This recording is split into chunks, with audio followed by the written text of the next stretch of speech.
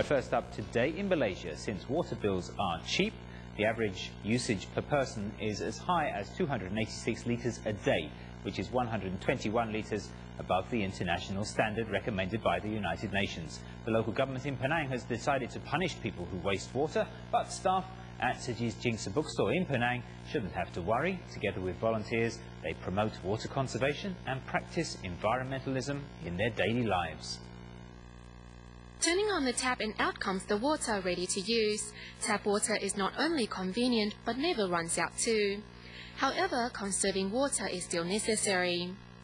As 2011 begins, the Jing Si Books and Cafe store in Penang, Malaysia is on a new mission.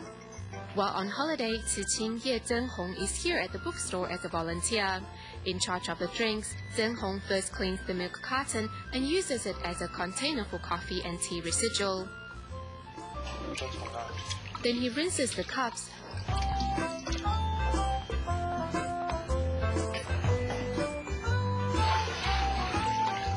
Just like that, the water is used twice.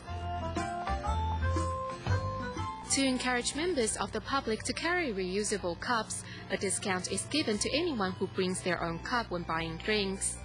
We're promoting conservation work. If you bring your own cup, we'll give you a discount of 3 ringgits. Have you got your own cup with you?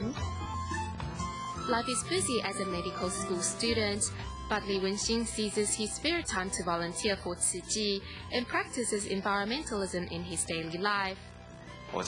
At home, I put a plastic bottle inside the tank of the toilet, so when I flush it, I won't waste too much water. Tzu Chi volunteers around the globe are conserving and cherishing resources in different ways, all in hopes to safeguard our planet. Thank you.